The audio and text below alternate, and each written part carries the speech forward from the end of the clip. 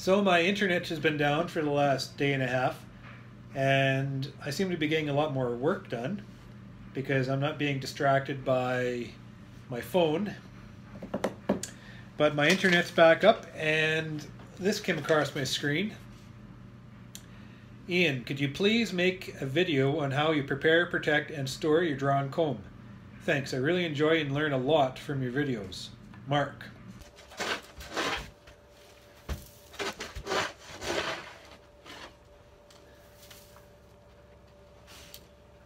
This is my wax control method. Uh, good old man Winter.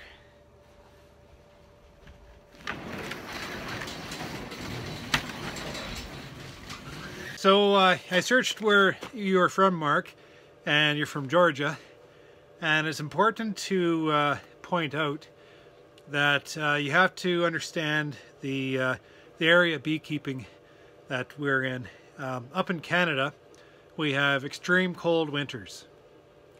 Okay, and that practically kills every stage of wax moth uh, that's that fly up here. Throughout the summer, up into August, the wax moth will catch the wind and it'll come up and infest our equipment. So we'll have August into September that we run into wax moth issue. Uh, and it's generally not a big concern. Uh, what we try to do, we we basically have a problem if we have equipment that hasn't been used for that year. We try to keep bees within our equipment, within the boxes, at least once in the year, just to help control the wax moth issue. Um, basically what we do is we just store our equipment away. These are uh, fall hives have been called out and we just store our equipment away uh, in the cold and what is it right now? My phone, phone's going to probably freeze up here pretty soon because it's minus 29. That kills, that controls the wax moth. If there's wax moth that flies up on the wind and starts to infest the equipment, um, by the time end of September, October, they're already on the backside of it and they're about to get froze out. So we generally don't have a lot of wax moth issue. Same with small hive beetle. Uh, the small hive beetle hasn't been able to, you know, migrate itself up and basic, basically because of the cold winters we have, uh, doesn't allow the, uh, the beetle to establish uh, the types of soils, all this kind of stuff. So we get away with Old Man Winter controlling those two pests and that's how we are able to store our equipment. I'm going to show you a way that possibly you might want to consider um, on storing your equipment down in Georgia. Uh, and what it is is providing the artificial environment of cold just to kill off the larvae and uh, it's what I use uh, especially like this year I'll show you a flashback video here um, but I uh, had some equipment that I couldn't put bees into so it was sitting uh, without use for this full year.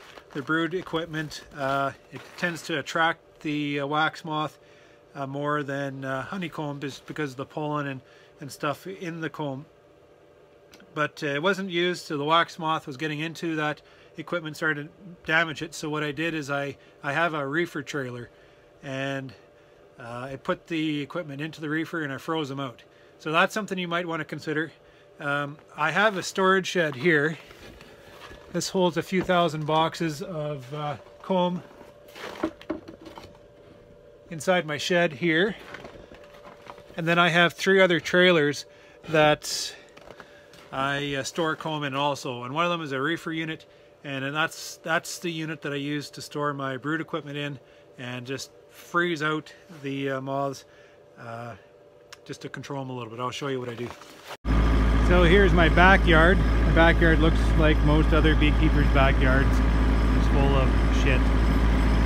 I have my storage trailers here, and one trailer has a reefer. It comes with a reefer, and it happens to work.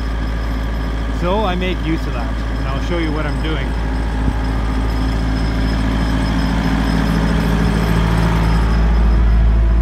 Throughout the year I have surplus brood comb and the surplus brood comb got st stacked in the honey house, the old honey house, and left in the corner. So I made an attempt to um, use as much of it as I can throughout the year doubling up some hives just to keep the wax moth out of it. But I'm at the point now where I don't want to double anything else up and I found wax moth is getting into these brood boxes and making quite a mess. So I called out all the bad webbing, burnt those frames, and I'm salvaging these boxes for next year. Uh, excuse the condition of the boxes, you know, I'm slowly changing my boxes over and increasing the quality, all that crap, but for the time being I gotta make use of what I got here. But, uh, so there's comb in here,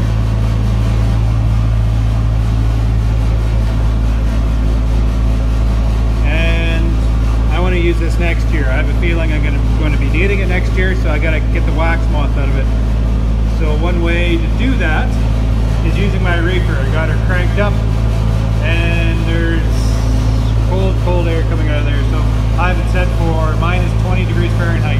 I'm going to chill these guys out for a day, freeze them out, and then that should hold the boxes for a little while. So I had my reefer going all last night just to uh, freeze out some brood comb. Let's go take a look.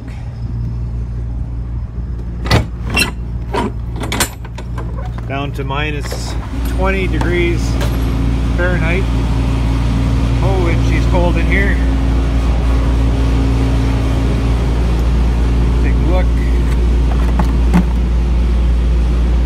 Frozen solid, little bastards good. So what I'll do is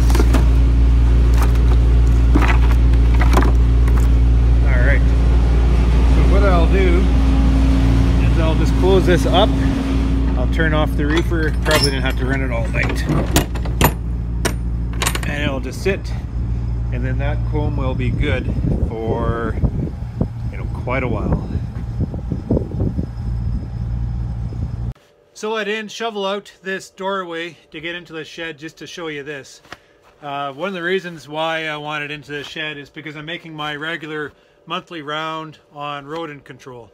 And keeping a shed full of boxes like this, I got to keep the mice out of here because the mice do a lot of damage, especially through winter.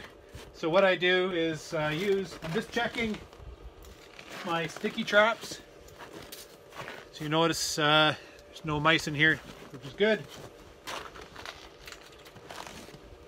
And what they are, these, these are a little cruel, but they work really well. You buy them at your feed store, and they're just a sticky mat, and anything that walks across it gets stuck to it and dies.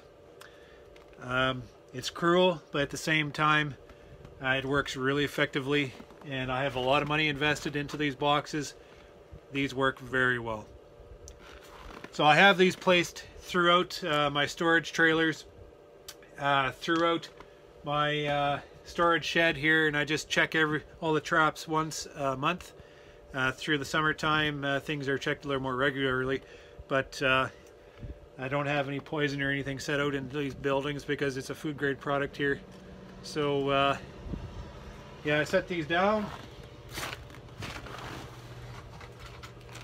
Along the edges, along the corners, along the walls where the rodents are more likely to run, and I catch them.